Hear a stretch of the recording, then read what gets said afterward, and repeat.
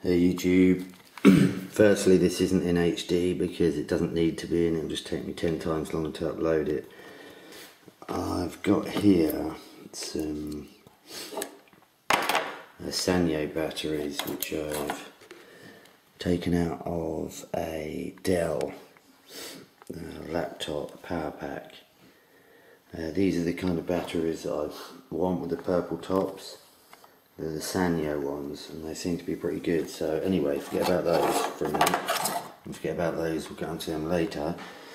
so these are the two. I've kept them, I usually keep the two, two of the batteries in parallel because you can see that's how they come. So you're just going to snip that wire there and there's a wire there and snip the BMS wire there and the BMS wire there and just get the get them on charge. There's a negative, there's a positive. So what we've done here, I've got a multimeter attached at the same time. Now you can see that's the negative end with the IMAX charger negative and also the multimeter negative. And this side obviously is the charger positive and the multimeter at the same time.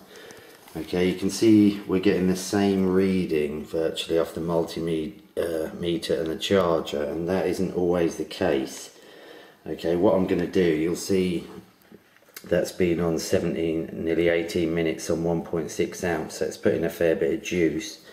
The start voltage when I took it out of the pack was 3.58 which you know some people say if they go below 3.7 or 3.6 that they're knackered uh, so this may be the case, but it doesn't appear to be. So anyway, what I'm going to do now, I'm going to stop charging and we're going to see what the multimeter does and that should give us a rough indication of whether we've got good batteries or not. They'll still take a lot more. They'll still take a thousand, fifteen hundred units, whatever. So let's see what happens when we stop the charging. So it went straight down from 4.18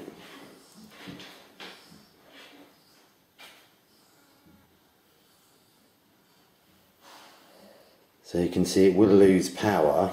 It's basically just a case of testing them all, uh, filling up any that are over 3.5. If you want to get the maximum amount of recycled batteries, that's the level you should go from 3.5 really. Uh, so that's going to go down. Uh, but if we stick it on charge again, uh, 2.5 amps, and then start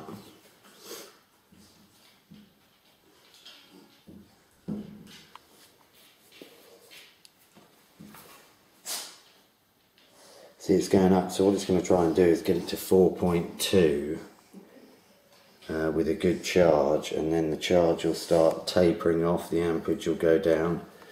So what I'm going to do in the next video is charge, get one of these packs on charge uh, with the BMS cable attached and see if we can get any joy there. So in a bit.